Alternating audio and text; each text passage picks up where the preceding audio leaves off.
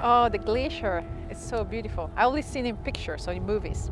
So it's quite special for me to come actually and see what I've been um, studying for a long time.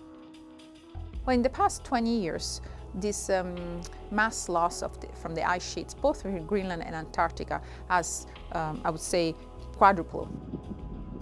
We think this uh, rapid um, retreat of some of this glacier is also caused by uh, warming of the ocean.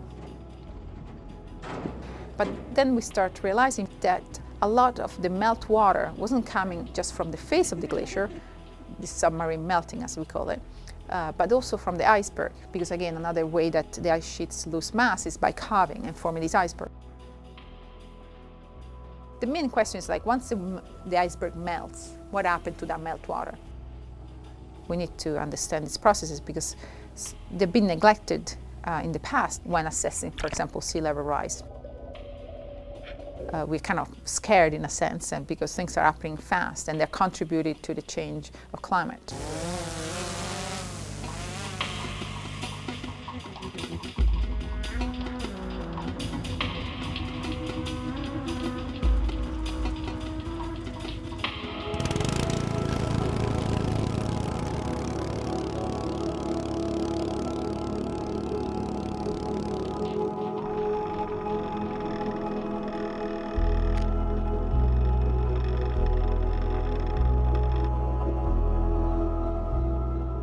Nobody has taken measurements basically attached to the ice in the field.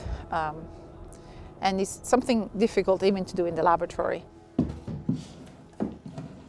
The real ocean is really complex and complicated. So it's, sometimes it's really difficult to detangle.